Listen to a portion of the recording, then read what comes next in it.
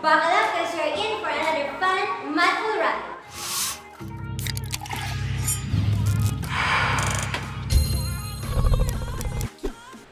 Ayan, so mga mathsters, pag sinabi natin square root property, by the name itself, it literally means just getting the square root of a number. So, itong method na to ay ginagamit para mag-solve ng isang quadratic equation na kung saan b is equal to 0. That is, the quadratic equation is of the form ax squared plus c equals to 0. Alright, so without further ado, para mas maintindihan natin kung paano ginagamit yung square root property, let us work on a couple of exercises. Let's start. Alright, now let's have example number 1. You have x squared minus 4 equal to 0. Kapag gusto mong gamitin yung square root property, ang una mong gagawin is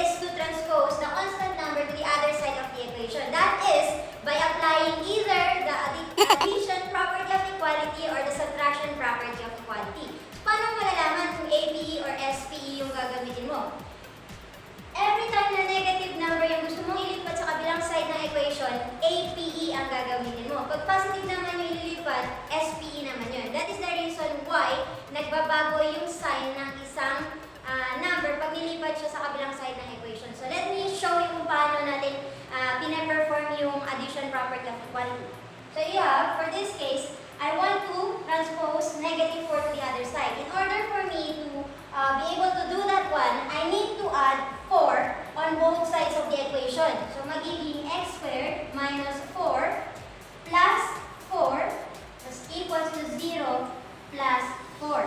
Ayan, yan yung addition property of equality. Whatever you added dito sa, sa left side ng equation mo, yun din yung i-add mo sa right side ng equation. Ayan, and then after that, simplify. Of course, negative 4 plus 4 is equal to 0. Kaya maiiwan na lang dito ay x squared equals to 0 plus 4 is equal to 4. Ayan. Next, pagkatapos mo ilipat yung constant number, ang next na gagawin mo ay sisiguraduhin mo na ang coefficient ng variable ay positive 1. Kasi, doon mo lang magagamit yung square root property. Ayan. So, for this case, okay na siya kasi positive 1 na yung coefficient na. Now, we can now proceed on the next step which is uh, extracting the square root. Ayan. Get the square root. Ayan. The square root of x squared is equal to x. And the square root of 4 is 2. However, don't forget that whenever getting the square root of a number, there will always be two roots. The negative and the positive root. Kaya lagi niyong lalagay dito sa uh, final answer ninyo yung positive and negative sign. Indicating that your solution set, okay? So your solution set is consists of a negative 2 and a positive 2. Ayan. Bakit dalawa yung sagot? Kasi you're dealing with quadratic equations. Quadratic equations are polynomials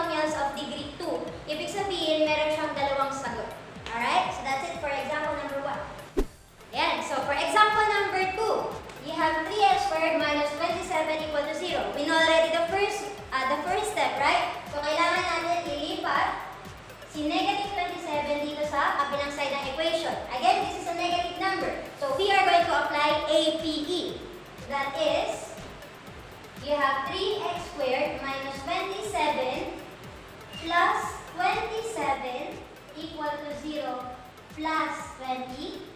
And then after that, simplify.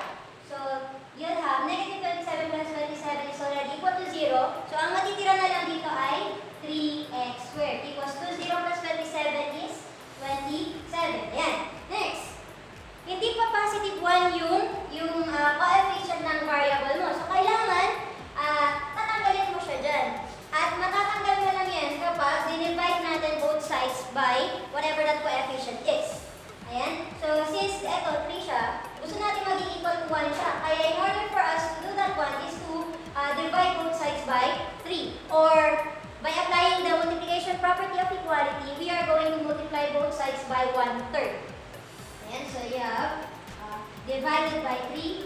divided by 3. In that way, 3 divided by 3 will already give you, I mean will give you uh, positive 1. So you'll have x squared equals to 27 divided by 3 is equal to 9.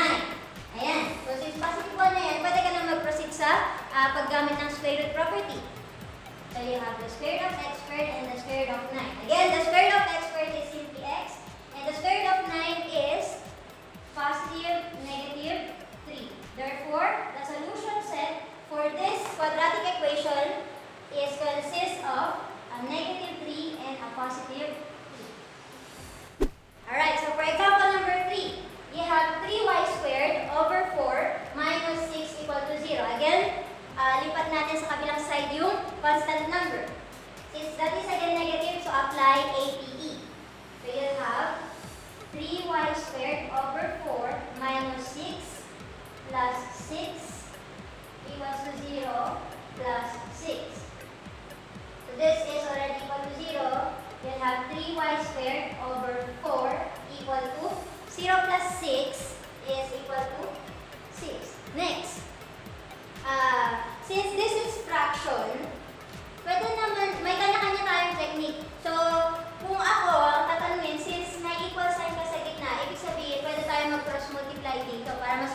matanggal yung uh, denominator na 4. Or, yung iba naman ang ginagamit dito, LCM. Since isa lang naman yung, ah, isa lang naman yung tawag dito, fraction na number natin, ito lang, 3 over 4. Yung iba, ang gagawin dito, yung multiply sa 4 yung ah, both sides of the equation. Pero para mas mabilis, ang gagawin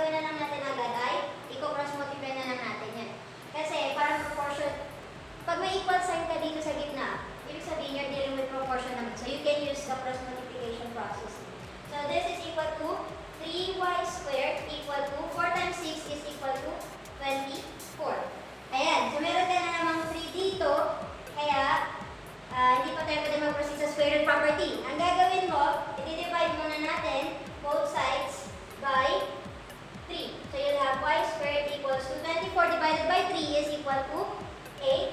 And that's the time na pwede ka nang mag-extract ng square root. And you'll have, ayan, so the square root of y squared is y. Ayan, then you have, square root of 8 is, uh, I mean 8 is not a perfect square number. However, you can simplify that one because 8 is simply the product of 2 and 4. And 4 is a perfect number. So this square root of 8 can be simplified as positive negative,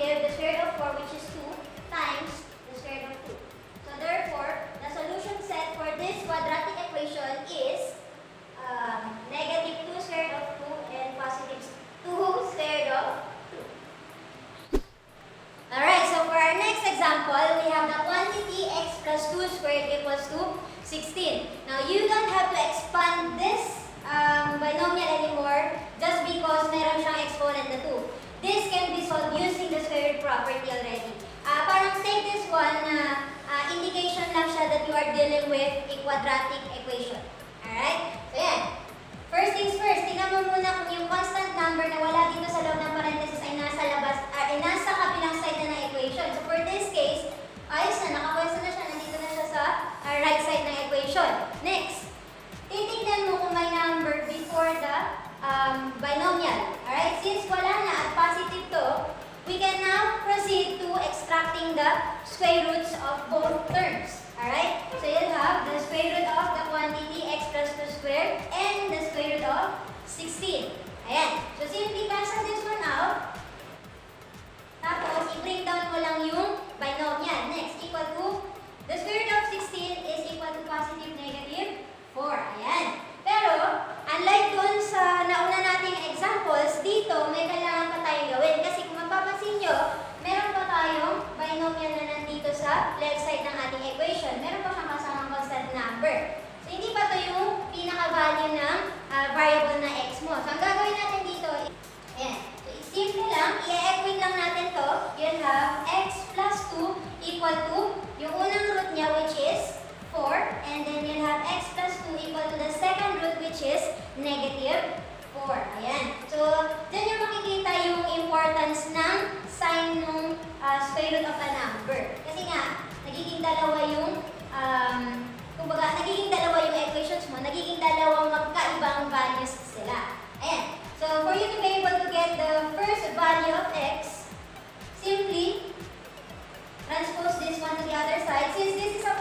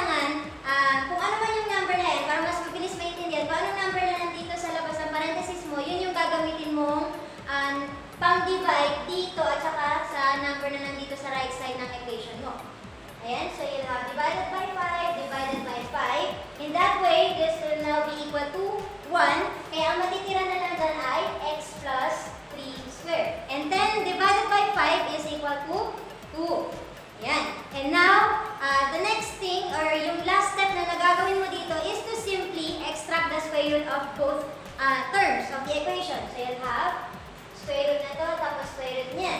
Cancel this one out. So you'll have x plus 3, bring down the binomial, and this is equal to, since 2 is not a perfect square, ibig sabihin this is just equal to positive negative square root of 2. Again, hindi pa yan yung final answer natin. So you'll have x plus 3 equal to positive square root of 2 and the other one is x plus 3 equal to the negative square root of 2. Next, transpose positive 3 to the other side so you'll have x plus 3 minus 3 equal to square root of 2 minus 3. Next,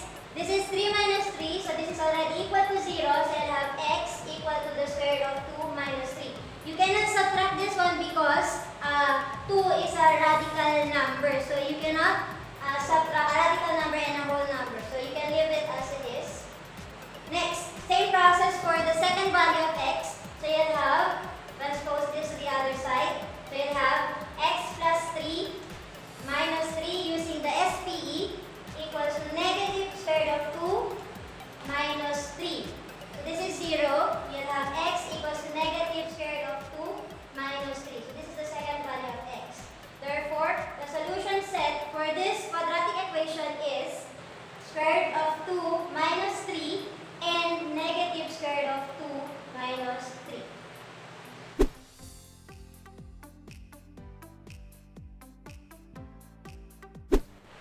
That's it, my masters. I hope you have learned something. Thank you for watching and I'll see you on my next video.